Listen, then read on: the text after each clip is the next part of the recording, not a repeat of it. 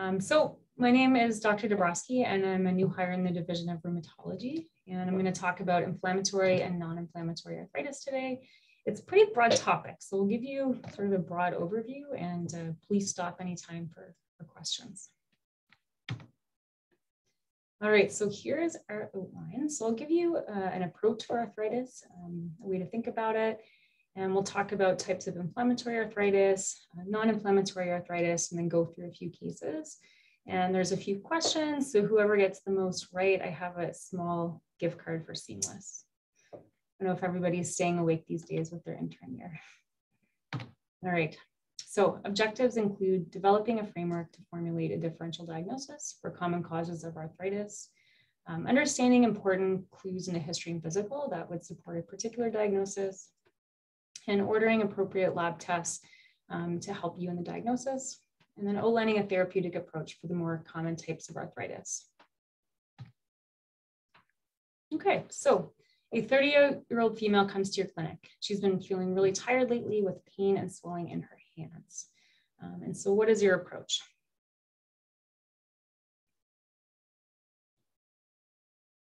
All right, let's develop an approach.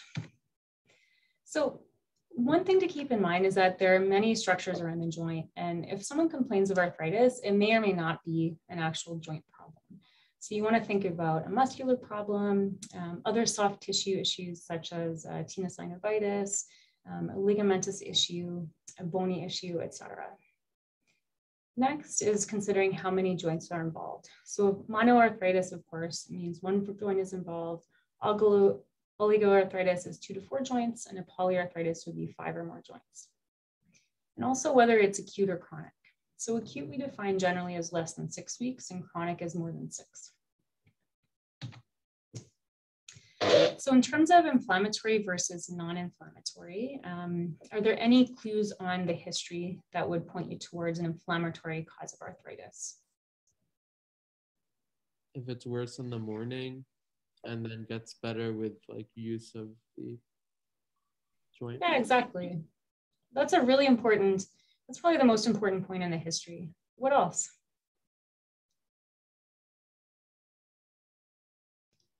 So in the chat, they mentioned, uh, Bruno mentioned swelling and erythema. Yep, definitely. What else?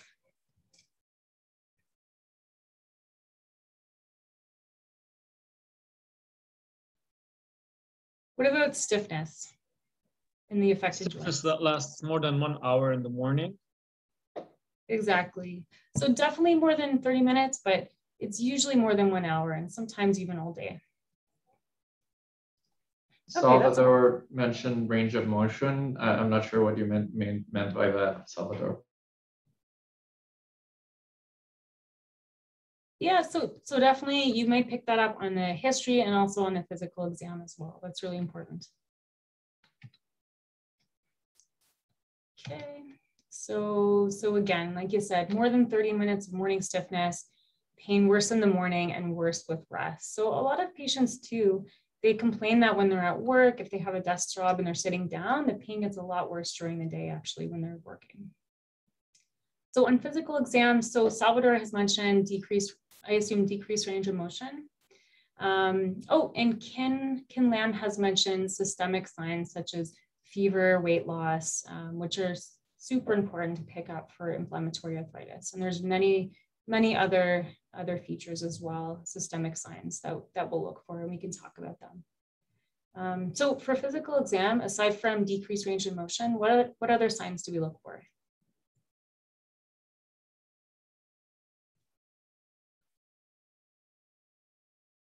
Yeah, rashes for sure.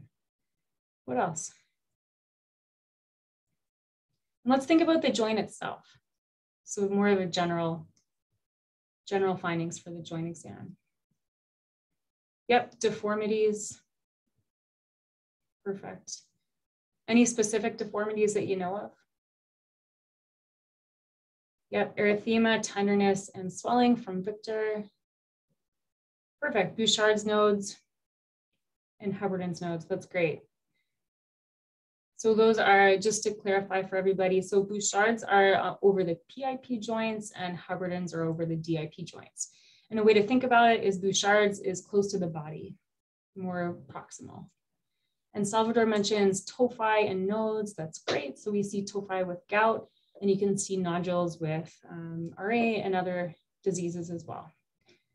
All right, ulnar deviation with RA, perfect, great.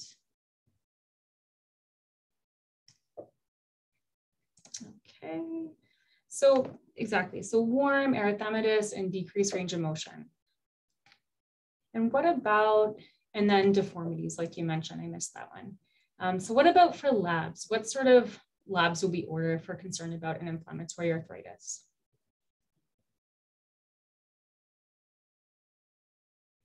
Yeah, so I'm getting from a lot of people, Neha, Sidra, um, so ESR and CRP, definitely. And these are generally elevated, although not universally. So it does not rule out an inflammatory arthritis. Perfect. And so we're also getting from uh, Nadim and from Bruno, so ANA, RF, anti-CCP. And that's great. So if you're seeing other signs and symptoms of, say, lupus, for example, or RA, then you'd order those specific tests. What about synovial fluid analysis? What would we expect on that?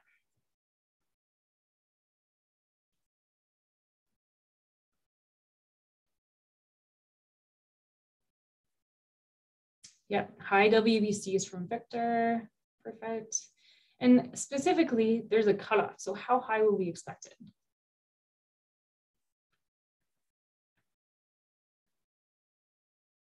Anybody?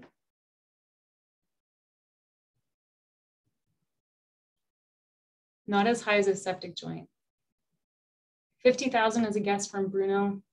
So not as high as a septic joint. So that's not, that's actually not true. So let's talk about that for a second. So anything above 2000 is considered inflammatory. And so any type of inflammatory arthritis should be considered when you get a WBC count above 2000. So that's really important. That's a good board question too. You'll probably get asked that. Okay, so, so again, synovial analysis, WBC is greater than 2000. And kind of counterintuitively, you actually get a thinner consistency in the synovial fluid when it's inflammatory. So when it's healthy, it's actually nice and thick. Um, so you'll see that if you do an arthrocentesis with us. And then we'll do additional testing dependent on the etiology. Okay, so more helpful patterns. So we look at whether it's symmetric versus asymmetric. And that's because, you know, there's it follows certain diseases. So for example, RA or SLE tends to be symmetric. So with RA, you often get wrist, MCP, and PIP involvement on both sides. And same with lupus. Whereas a seronegative arthritis or crystal arthritis, it tends to be asymmetric. And also looking at proximal versus distal joints. So gout, for example, tends to be more distal and affecting the, the toes, the MTP joints. You want to look at as well if it's a, just a single event, such as you know a reactive arthritis, which is acute, or Lyme versus intermittent episodes such as gout, and if it's migratory versus additive. Um, so migratory pattern would be something like a gonorrhea arthritis versus RA, which would be additive. Okay, so we're going to talk about types of inflammatory arthritis. So here's your differential. So first to consider is a crystal arthritis, and primarily this includes pseudogout, um, which is also known as calcium pyrophosphate disease or CPPD versus gout. And next, you, you should consider a connective tissue disorder. So as you know, many of you have already mentioned, you think about things like RA, Sjogren's, lupus, scleroderma, also known as systemic sclerosis, mixed connective tissue disorder, undifferentiated connective tissue disorder, vasculitis, and inflammatory myopathies. So there's many types of connective tissue disorders. We'll go through a few of them today. Also think about seronegative arthritis. And this is also known as um, SPA. So ankylosing spondylitis or AS, psoriatic arthritis, PSA, reactive arthritis, and enteropathic arthritis, as well as undifferentiated. And that just means that a patient does not meet criteria for any of the other arthritides. Infectious arthritis is, of course, under differential for any acute monoarthritis, as well as select um, polyarthritis, um, and also miscellaneous. There's many additional types of inflammatory arthritis, which we won't really get into today. All right, so gout. Gout is the most common inflammatory arthritis when you include both acute and chronic causes. And it simply means monosodium urate crystal deposition. So you can see here, this is, uh, these are tophi in this picture, and that's directly, it's just monosodium urate crystals. And if you aspirated that tophus, you don't really have a great need to do that, so I wouldn't recommend it, but you would see MSU crystals. Um, and it's associated with the metabolic syndrome, renal dysfunction. And podagra, which is synovitis of the first MTP, is pathognomonic of gout. So for your workup, you should get BMP uric acid, x-rays of all the affected joints, and you should do an arthrocentesis. Patients can present with both gout and an infection at the same time, and we see this not infrequently. Your uric acid goal is less than six, and if the patient has tophi, such as this patient here, you want to target a uric acid of less than five. In terms of needing uric acid lowering treatment, most patients do. So if they're having recurrent flares, if they have CKD or tophi, you're going to start treatment. Generally, we start allopurinol. It's an excellent treatment. It's cheap. Most patients tolerate it.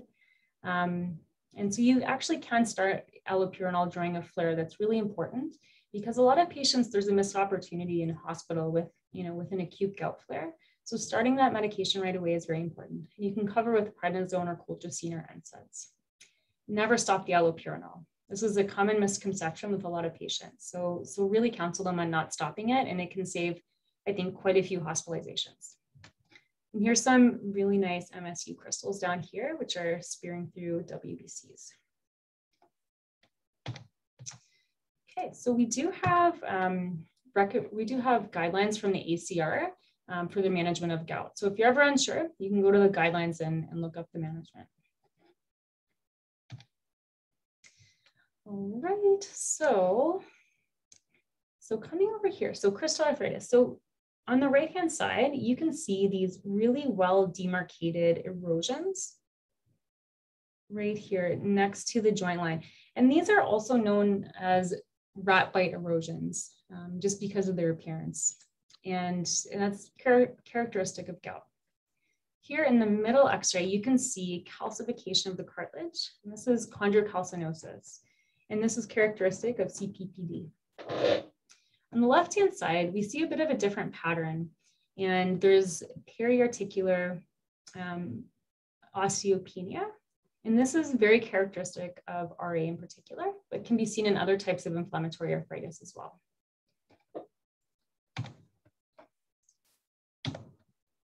Okay, so in terms of pseudogout, um, a really important pearl is that it's actually easier to miss these crystals. They're harder to see on microscopy, and I often go and look up the crystals myself if I'm concerned for CPPD. So you can miss up to 20% of the time. So that's quite a few patients. It tends to be a disease of older adults greater than 50 years. And for your workup, you want to look at BMP, PTH, TSH, vitamin D, phosphate MAG, and x-rays of all the affected joints. And if you find an abnormal PTH or TSH, you're going, or vitamin D, you're going to want to treat that, and that will help prevent recurrent episodes. There's many different subtypes of CPPD, which I think, you know, at least I wasn't aware as a resident. So you can actually have an acute uh, phase, which we do often see uh, in hospital, where a patient comes in with um, mono or oligoarticular arthritis. Um, but you can also get a more chronic uh, arthritis as well in a pseudo RA picture. So patients with, you know, the seronegative RA may actually have a chronic pseudo gout. And so that's really important to look for because the treatment is different. Some patients do have chondrocalcinosis on x-ray, but are asymptomatic. And you can also get sort of this pseudo OA picture where the crystals and the inflammation can wear down that cartilage. And you wind up with this sort of atypical secondary OA. So prophylaxis is colchicine, um, and you want to start prophylaxis if they're having recurrent flares or any joint damage. And the treatment for acute attacks would be colchicine, steroids, or NSAIDs. Okay, so in terms of RA, um, so this is a chronic polyarticular symmetric inflammatory arthritis, and it's the most common type of chronic inflammatory arthritis. And the classic presentation is wrist, MCP, and PIP bilateral synovitis. However, feet are often one of the first places to show erosions. In this picture over here, you can see that the patient's toes are splayed, and this indicates that the um, MTPs are quite swollen. And so in terms of your workup, you're going to get inflammatory markers, CCP and RF, um, CBC, CMP, and x-rays of all the affected joints.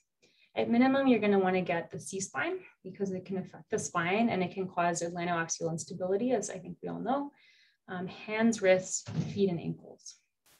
And interestingly, the CCP actually tends to be positive first and then the RF. So it's important to check both. So key to treatment is that early and aggressive therapy has been shown to be very, very important. So now that we have really incredible medications, you're going to retarget remission or low disease activity. And there are many different disease activity markers that you can use um, and always use an app. You would never need to, to memorize these disease activity markers. So RA patients are really high risk of cardiovascular disease. And so it's important to, to aggressively modify their risk factors. So many deformities can be seen with RA patients. And so these are a couple of examples. So this is a claw toe deformity and a hammer toe. Patients without RA can get these as well. So in terms of uh, hand deformities, this is very severe. We don't see this as much anymore now that we have biologics for treatment. Um, so you're seeing boutonniere deformity of the thumb here, um, ulnar deviation, so you're, you're deviating at the MCPs over to the ulna. You can also get swan neck deformity. So it's hyperextension of the PIPs and then flexion of the DIPs. And boutonniere is the opposite. So most patients that we see will have more subtle findings. So you can tell here that this patient has some swelling of the PIP joint and it's a little bit red. She has a little abrasion here, but she also has some swelling of the MCPs as well. And it looks like she smokes. Smoking is actually a very important risk factor for, for RA, and it's actually been shown to worsen outcomes. So it's super important for any of these patients for both their cardiovascular risk and also their RA to for smoking cessation. And again, we have up-to-date guidelines from the ACR, which are um, great. They're very straightforward. So I'd recommend looking at these if you have any RA patients. So treatment. So if you see a patient with RA, you can start treatment and refer to rheumatology. So that way there's no delay in, in the treatment. If they have an acute flare, as they often do at first presentation, you really should start a bit of prednisone. I recommend about 15 milligrams a day, and it will work right away. The first line of treatment is methotrexate. And again, the dose is 15 milligrams, but weekly with daily folic acid if there are no contraindications. If there are, or if methotrexate fails, there are a couple of options. You could do triple therapy. So you would add sulfasalazine and plaquenil, or you could try a biologic such as a TNF inhibitor. Generally, you'd want rheum help for that. Um, monitor the disease activity, like I mentioned, with these tools, including CDAI, SDAI, or DAS28. And you can use an app for that. All RA patients should be referred to them. So in terms of lupus, the arthritis is a little bit different. So you tend to get actually a non-erosive arthritis, which can cause ligamentous laxity. And this is called Jaccoud's arthropathy, as you can see here. So these are swan neck deformities, but they're actually reducible. We actually had a patient recently on the inpatient service with this, and it was pretty impressive. And the synovitis, it's often more subtle than with RA. Um, for the workup, as a few of you have mentioned before, you're gonna get an ANA, and then also more specific markers, including dsDNA, Smith. Um, RNP tends to go along with lupus as well.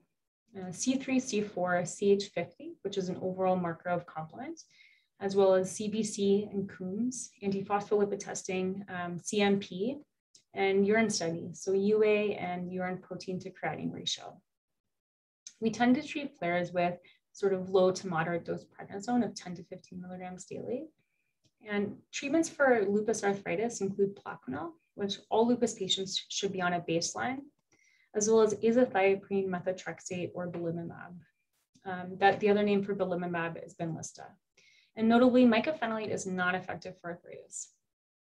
We always have to be super careful of a lupus patient coming in with an acute arthritis flare because we need to rule out infection. It's always high on our list. So systemic sclerosis, um, and versus the localized version, which is called scleroderma. Um, so this is a multi-system disorder which can cause inflammatory arthritis, but it can also affect any organ system. Up here on the right, you can see this patient has sclerodactyly and she has multiple areas of calcinosis and even um, some ulcerations as well. Here you can see a scleroderma patient with an abnormal, abnormal nail fold exam. And so you're seeing all of these dilated capillary loops at the nail bed. Here, there's a finding of acro-osteolysis. So this patient has actually lost the distal tip of their fingers. And you wind up with digital shortening. It's very impressive. And I've seen it a couple of times. So unique hand findings, like I mentioned, is sclerodactyly, acro-osteolysis, um, calcinosis, and a lot of the pain can actually be from the skin thickening and not from a true arthritis. And it's a less common feature actually than, than the other findings in scleroderma. Almost all patients with scleroderma have Raynaud's, so that's something to, to look for. In terms of our workup, in addition to ANA, we're going to check centromere, RNA polymerase, um, SCL70, as well as your routine labs and urine studies. And we also check a chest x-ray, PFTs, ECG, echo, and BNP, because we want to screen for, for internal organ involvement. And the treatment's really based on which organs are involved. And that's beyond this talk. So in terms of MCTD, so these patients present with symptoms of both lupus and scleroderma. And for the diagnosis, you really need um, RNP and Raynaud's phenomenon. So you can see here this great example of Raynaud's. So you have this abrupt cutoff um, with discoloration distal to the cutoff. So this patient's fingers are turning white. And the, the classic finding is that the fingers turn white and then blue and then red upon reforming. Any patients with MCTD need an echo check because the RNP antibody confers a higher risk of pulmonary hypertension. And otherwise, the workup is same as lupus. UCTD simply means that the patient does not meet criteria for any one disease, but you do suspect they have a connective tissue disorder. There are also overlap symptoms or syndromes. So this would be patients that don't that meet full criteria for more than one condition. Uh, an example of a common overlap syndrome is RA and SLE. Okay, so in terms of seronegative arthritis, um, this is an example of ankylosing spondylitis. So this patient has pretty pronounced kyphosis, as you can see. So if you were to do an occiput to wall test, this would be very, very abnormal. So the hallmarks are sacroiliitis and enthesitis. So enthesitis means inflammation at the point of insertion for tendons and ligaments onto bone. Many patients, about one quarter, will have uveitis, and about 7% will go on to develop IBD. And so recall features of inflammatory back pain from med school. Um, does anyone know features of inflammatory back pain?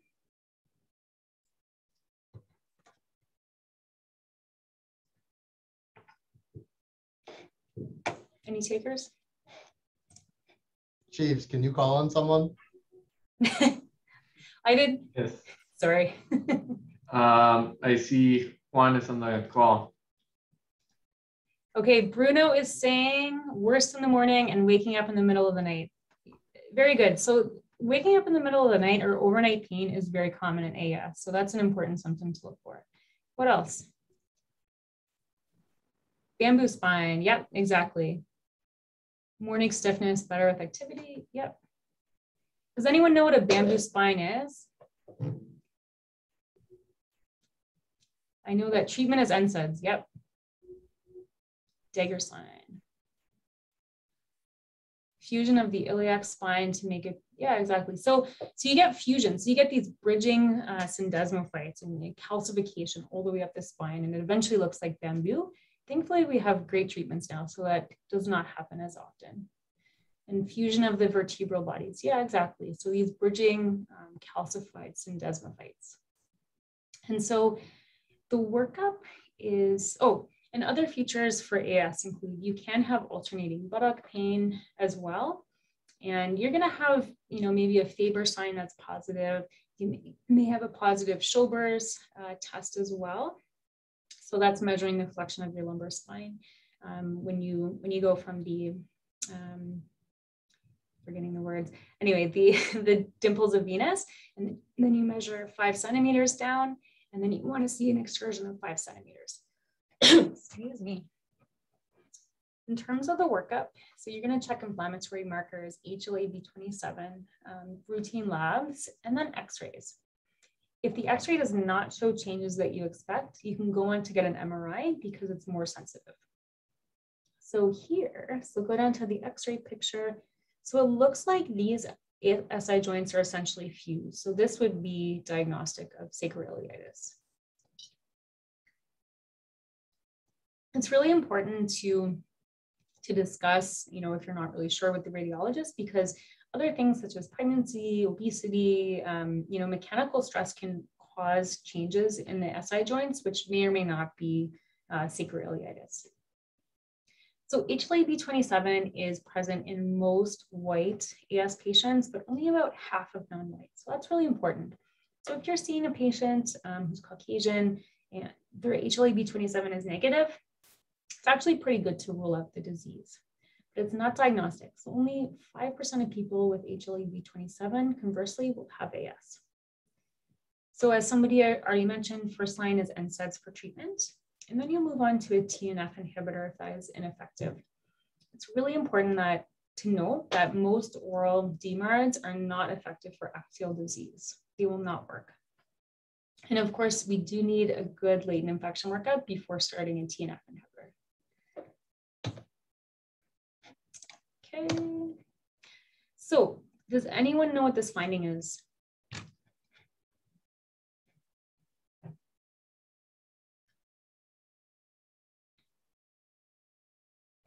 It's here. So I think Bruno was saying tendonitis. Yep, exactly. So this is Achilles tendonitis. So you can see the fullness here. This, so this is an AS patient. Good. I think uh, I think Bruno's going to get that gift card. Um, okay, enteropathic arthritis. So this occurs in about one quarter of IBD patients, especially those with UC and extensive colon involvement. Um, peripheral involvement or peripheral arthritis, so hands, toes, knees, sometimes correlates with bowel disease activity, but axial disease, so spine disease, does not. And autoimmune hepatitis can also be associated with SPA symptoms as well as celiac. They're less commonly axial and more commonly peripheral. And the treatments for IBD and arthritis tend to overlap, notably TNF inhibitors. We cannot use IL-17 inhibition, which can worsen uh, IBD. And that's beyond the scope again of this talk. You would you wouldn't need to do that independently. Um, okay, so psoriatic arthritis. So psoriatic arthritis is really interesting. So this is when psoriasis and um, you know a SPA occurs together. So you can, just like the other types of SPA, get uveitis, bowel disease, and you can be positive for HLA-B27. Unique to SPA, you see more dactylitis. So this would be an entire digit being swollen, such as a finger or toe. And you can get these characteristic pencil and cup changes on the x-ray. So here, this is one, it's kind of small, but this purple circle is, uh, is pointing to a pencil and cup deformity. So you're seeing really really destruction of this uh, DIP joint. And, and what winds up happening is you have this tiny little portion of bone on, on the end of the digit, and then this sort of cup appearance of the, uh, of the phalanx below. And this is an example of arthritis mutilans. So this is a complete destruction of many of the PIP and, and DIP joints, and it's, it's quite impressive in person to see. So we try to avoid this and start treatment as early as possible. So PSA is associated with metabolic syndrome and increased CVS risk, just like RA. So your workup will actually include RF and CCP because you really do want to rule out RA. Of course, you will see a different distribution. So DIP involvement is very uncommon in RA, where it's common in psoriatic arthritis. You're going to get x-rays of the entire spine, hands, feet, and any other affected joints, as well as inflammatory markers and infectious workup. I should mention that inflammatory markers are not universally elevated for seronegative arthritis. They're often, they can often be normal. So again, that does not rule it out. You're going to treat in conjunction with dermatology. Many of these patients respond really, really well to TNFs um, and other biologics as well. So here you can see a dactylitis. So this right second toe is diffusely inflamed. And then he has psoriatic changes in the nails as well, which can be sometimes difficult to differentiate from a fungal infection. So treatment, we have guidelines again for the treatment of PSA. And you'll always want to combine non-pharmacological treatments with um, medication. So PT, OT, smoking cessation, weight loss, exercise are all very important. Um, so massage therapy is recommended um, for some things, but um, it's, it's not routinely recommended, at least in our practice. NSAIDs um, are great symptomatic treatments, as well as glucocorticoids we actually avoid Plaquenil because it has been shown to exacerbate uh, psoriatic lesions. And then these are the biologics that and the other DMARDs that we tend to use in PSA. So reactive arthritis is also considered a seronegative arthritis and it's sterile. So you're not going to isolate a pathogen in the synovial fluid. And it tends to occur about one to four weeks after a GI or GU uh, infection. And these are some common infections that can trigger a reactive arthritis. And I think the classic mnemonic that we probably all learned is that can't see, can't pee, and can't climb a tree um, to help remember the constellation of symptoms with reactive arthritis. It's also associated with HLA-B27. And when this occurs, the patients tend to have a, a worse course. So about half of patients will have a self-limited course over a few months, and then it will go away and not come back. And about 30% will have recurrent, and 20% will have chronic, requiring ongoing immunosuppression. We can treat with NSAIDs, steroids, or immunosuppressives. So a few miscellaneous things. So this is a patient with SAPHO syndrome. Has anyone heard of SAPHO syndrome?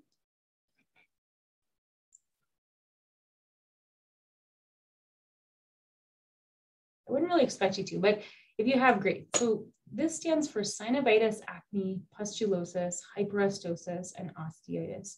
So these patients tend to get really severe osteoarthritic changes in their hands, and they get the sterile osteomyelitis. It's really interesting to see. I had a few patients when I used to work in the Bronx that have had SAPHO syndrome, and it's, it's pretty challenging to treat. So it's just another thing to think about when you're when you're seeing a patient with inflammatory arthritis that looks sort of like OA. And this is another sort of more rare condition. So this is RS3PE, or remitting seronegative symmetric synovitis with pitting edema.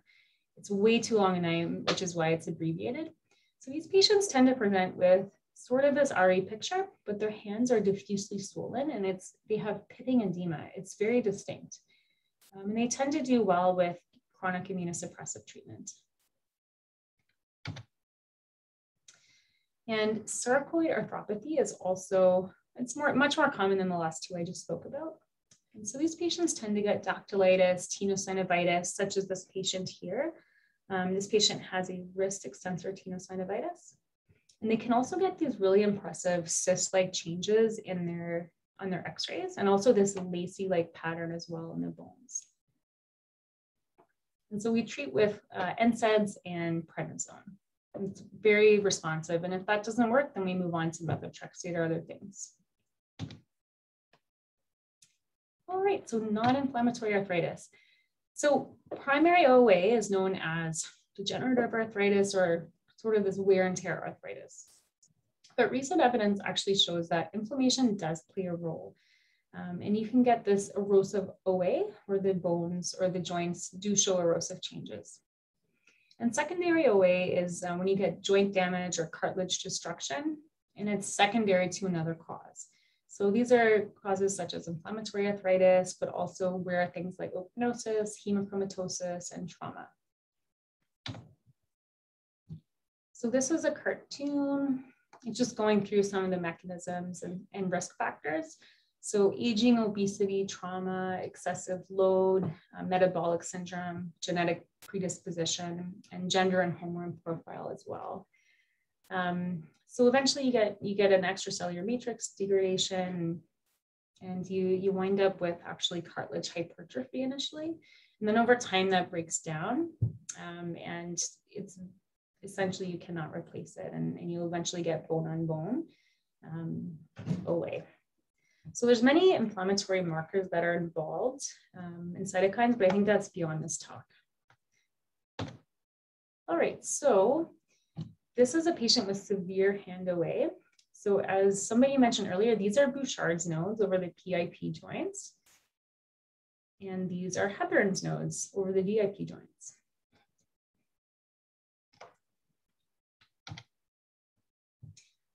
This is a pretty characteristic uh, knee x-ray. So here we're seeing pretty bad um, medial joint space narrowing that's very severe. And you're seeing some subchondral bone sclerosis as well. And there's probably some cystic changes in there as well. And lo and behold, there is also guidelines for this. So we, we like to be evidence-based in rheumatology. So again, if you ever have a question about management, you can go to the guidelines. They're really great. So from the guidelines, um, you can see that they've divided it based on hand, knee, and hip, which are probably the most common types of OA. Exercise is the cornerstone. There's many mechanisms as to why exercise helps, um, which we won't get into today, but it's super important. Weight loss, Tai Chi, canes, bracing, um, these can be prescribed by OT. OT is really, really helpful. And then other things as well, which may or may not be helpful, such as therapeutic heating and cooling, cognitive behavioral therapy, acupuncture, taping, and balance training. Yoga, paraffin, other hand orthosis has have also been shown to be helpful, but maybe less clear. Oral NSAIDs are very helpful. The problem is a lot of our patients with severe OA tend to have comorbidities, so that can be a challenge. So I use topical NSAIDs for OA all the time. It does not work in the hip, it's too deep of a joint, but for the hands um, and for the knee, it's quite good. We do steroid injections and it does help, However, you know, the response is pretty variable. And I think I, at least for me personally, I tend to do other things and give steroids as more of a second line. And we do actually see some benefit with duloxetine as well. And so this I use as a third line treatment for my patients. I've never had a patient tell me that acetaminophen has helped their OA, but it is in the guideline. All right, so things that do not work bisphosphonates, glucosamine, plaquenil, methotrexate, and other um, and other immunosuppressants. Even though there is an inflammatory component to OA, they are not effective for OA pain. So these are definitely not recommended. Okay, I'm just checking the time. So we have a couple of cases to go through and then we'll wrap up. So the case of Mr. Podagra. So a 42-year-old male limps into the ED. He's had severe pain in his right first MTP for one day, constant pain, and he's otherwise feeling okay. So what is your approach to determine if it's inflammatory versus non-inflammatory?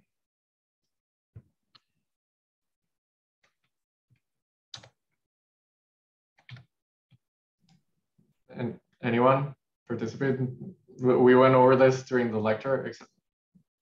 Uh, Juan says he would assess if he would be able to tap. Very good always try and tap anytime you have a monoarthritis. Well, there's a caveat, I guess, in this case. What else?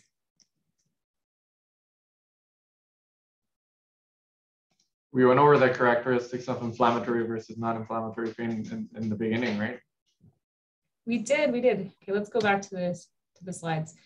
So is the problem truly in a joint? I think it is. It's super red right over the joint. First MTP. Yep, you want to think about infection for sure. And it's a monoarthritis, it's one joint, and it's acute, so under six weeks. So in terms of this person, it's it's stiff kind of all day, so maybe, and it, pain is not really better or worse with rest. So it's a little bit of a different case, but it's certainly warm erythematous and you can't move it. If we were to do synovial fluid analysis, it probably would be inflammatory is my guess. Yes, crystal arthropathy. So Victor, why do you say crystal arthropathy? Um, first, the involvement of one joint only, and this is a characteristic joint in addition to the need to be involved in um, gout, most likely, the acute presentation of the patient. Um, it looks, this is a typical presentation of gout. Exactly. So it's um, so sudden onset and the distribution, it's this monoarthritis in the toe. It's it's actually, you know, pathognomonic for gout, it, known as podagra when you have first MTP synovitis. Um, so on exam, he's also noted to have this. Does anyone know what this is?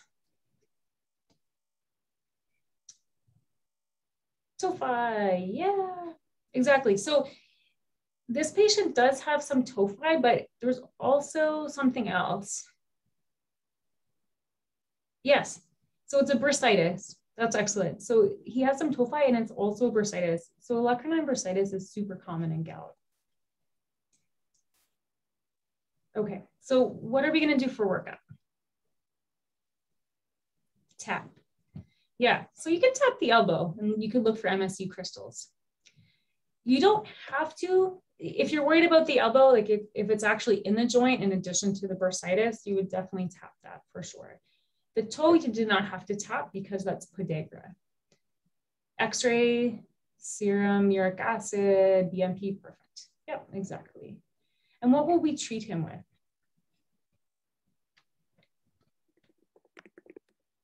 NSAIDs, perfect. And he's otherwise healthy. Yep, colchicine is good. Prednisone's fine too. These all work. And what about allopurinol? Yay.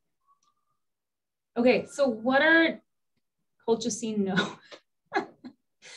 so what are our indications for starting allopurinol? Do you remember? Allopurinol. Okay. Bruno, you feel very strongly. So why, why would you not start? Good, yeah. So if it's recurrent, you got it. And what is the other indication for starting allopurinol? If perfect. And he does have tophi, good. What else? There's one more thing that's important. CKD, perfect. Yep, excellent.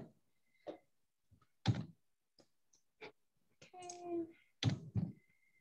So arthrocentesis, not necessary because podagra is pathognomonic, but we did see the elbow, it's a bursa, so plus minus arthrocentesis. Uric acid is 9.6 and his GFR is 80, so that's pretty good. Uh, and we do an x-ray of his feet so acute treatment, as you mentioned, NSAIDs, colchicine, or prednisone. And we would start uric acid lowering therapy because he has tophi. And what is our target for, for uric acid for this guy? Five, fabulous. So below six without tophi and below five with tophi. So his will be below five. Um, and low purine diet, what does that mean?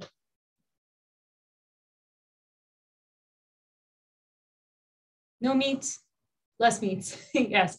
No meat is probably unrealistic for most people, um, but red meat is something to avoid in particular in shellfish. So shrimps, yes, alcohol, but especially beer is super important. And sugary foods, drinks, weight loss, lifestyle changes are, are actually really gonna help a lot. One of my patients is adamant that he's going to get in good enough shape where he doesn't need allopurinol. And his uric acid actually did drop from about eight to seven. So I thought that was pretty impressive regardless, he's still going to need allopurinol. So most, most patients really do need allopurinol and diet alone and lifestyle changes don't cut it. And then you can refer to rheum. We can follow these patients. We're happy to do it. So, okay, this is his x-ray. This is a rat erosion. Sorry, that's a little corny, but you can see again, these sclerotic, really well, well, maybe not this one, but most of them are really well defined. And you can see pretty bad joint space narrowing here. I think this is the first MTP. All right, Ms. Wolf.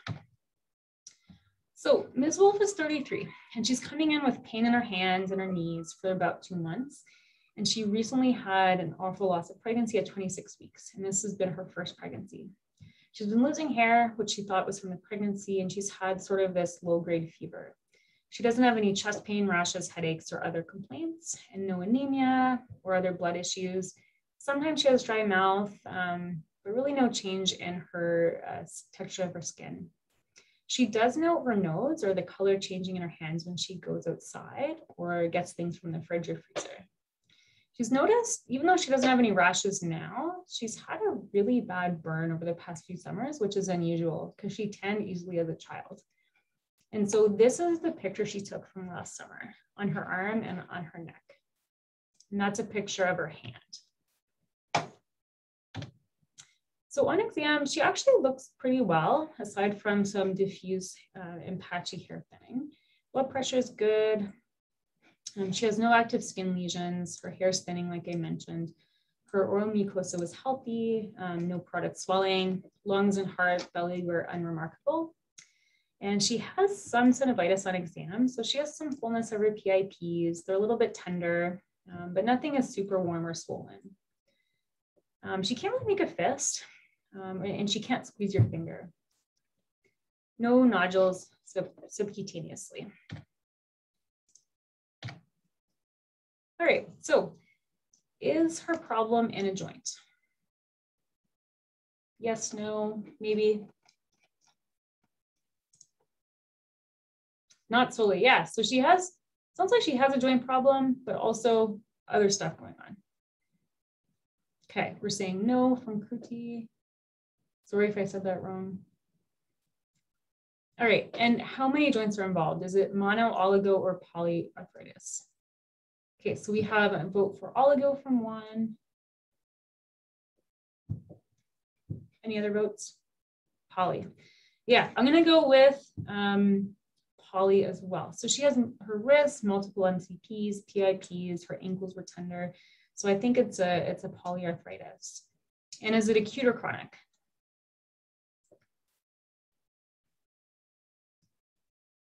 Yeah, it's a chronic. Perfect. Job. And inflammatory or non-inflammatory?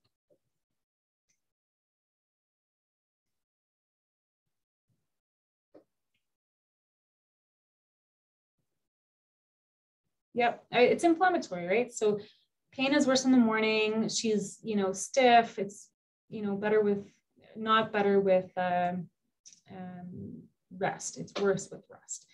And she does have some swelling, even though her range of motion is okay, she can't really make a fist.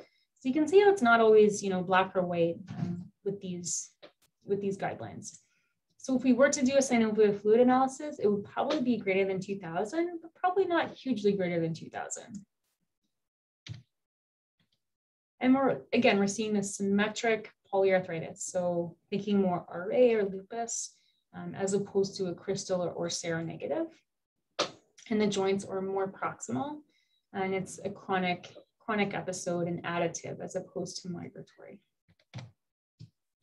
So her labs, so her ANA, sorry, I jumped the gun with, with getting the uh, labs ordered, but her ANA is very positive. So one in 640 homogeneous. Her dsDNA is positive, her Smith is positive, RNP and Ro are positive. Complements are low, and she has negative topoisomerase, which is also known as SCL70, negative centromere, and she has positive anticardiolipin antibodies. Um, sort of this borderline anemia and uh, mildly low platelet count as well. And she has a little bit of protein in her urine. So let's actually talk about this for a minute. So what um, what are we concerned about in addition to her arthritis? Because that's probably more important actually than, than her arthritis. Even though I know it's not a lupus talk, that's kind of what I get excited about. So what are some red flags kind of on our blood work? Yeah, lupus nephritis. I'm really worried about that. Yep. exactly. So she has red blood cells, casts, and protein. That's super concerning. So what would you do for further workup for her?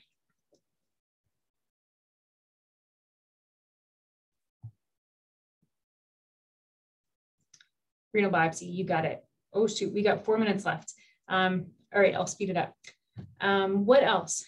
What about her anti-cardiolipin antibodies and her history of loss at uh, 26 weeks? What does she have in addition to lupus, presumably? Yeah, so she meets criteria for antiphospholipid syndrome. So she's going to need lifelong anticoagulation if she goes on to develop a blood clot. Um, and she will require anticoagulation for any pregnancies. Referral to heme. One other thing I'd like to point out before we're going to have to wrap up a bit early, RNP is strongly positive. She is going to need an echo. Okay, so we're going to want to screen for pulmonary hypertension as well. And also has strongly positive Ro, and she has some sicca symptoms, so she's going to need good follow-up by dentistry and ophtho. Okay, we're gonna skip this for the time being. Um, we don't have time for the other cases, but some more pictures.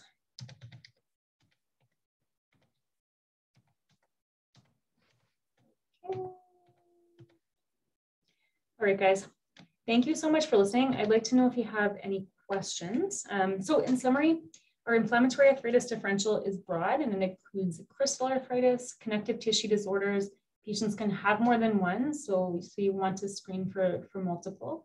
Um, seronegative arthritis, infectious, and also miscellaneous or some more rare conditions. You want to determine the etiology of inflammatory arthritis by looking at all of the non-articular symptoms. Um, non-inflammatory arthritis is osteoarthritis, but it still has some elements of inflammation. So as a medicine resident, you're going to complete an initial workup and consider initial treatment while you're waiting for rheumatology, and then refer for any type of inflammatory arthritis. And again, to go back, our approach is always looking at the number of joints involved, uh, chronicity, um, you know, inflammatory versus non-inflammatory features, and that'll go a really long way towards your diagnosis. And again, it's not really straightforward. So um, it's okay to you know take your time and, and, get some help from your rheum colleagues. So if you like to read, ACR guidelines are fantastic. They also have this huge image bank, which is great for morning report or rounds. Um, Rheum Secrets is really good. So it's super accurate, concise, and you can get it online. And nature reviews of rheumatology are also great too. If you don't like to read or you're too tired, rheumtutor.com is fantastic. It's out of McMaster University back in Canada and they have injection techniques, MSK exam tips, etc. The Rheuma Helper app is awesome. So you can download it and you can just point and click and decide if a patient meets criteria for, for different diagnoses. Um, that's it. Any questions?